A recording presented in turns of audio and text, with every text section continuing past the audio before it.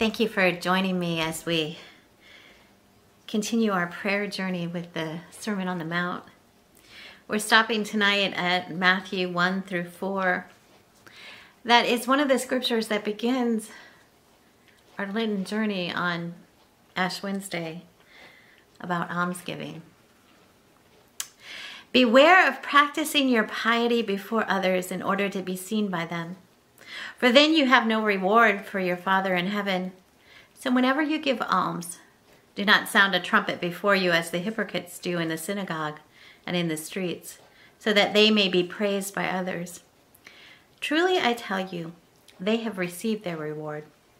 But when you give alms, do not let your left hand know what your right hand is doing, so that your alms may be done in secret, and your Father who sees in secret will reward you. So I invite you to close your eyes and take a deep breath. Breathe in and release your breath. And I want you to just, the word that has stuck with me is beware. So I invite you to think about that word on your in and out breath. Beware. Beware.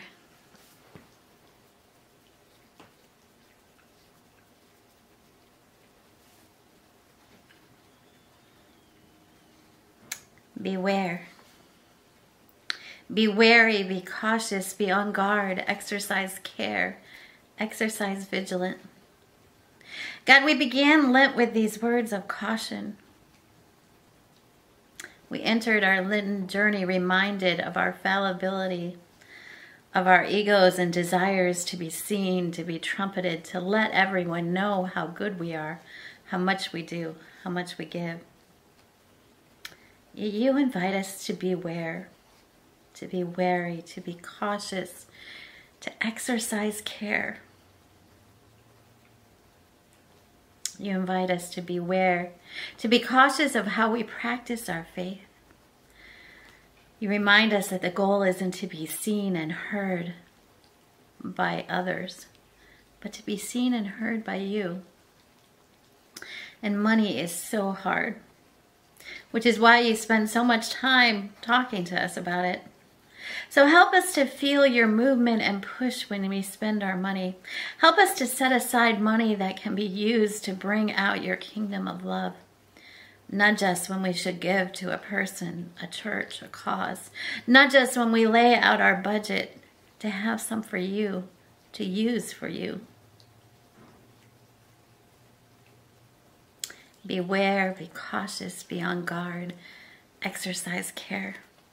As we stop here with you in prayer, we exercise our care.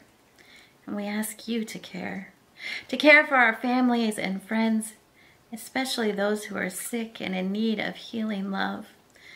There are still so many who've caught this horrible virus around the world.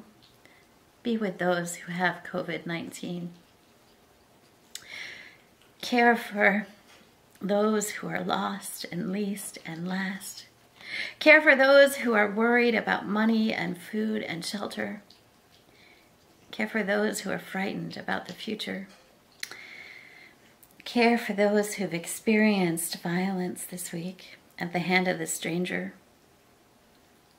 at the hand of a gun, but also at the hand of those who are supposed to love them God, exercise care as you draw near to us with your love. Amen.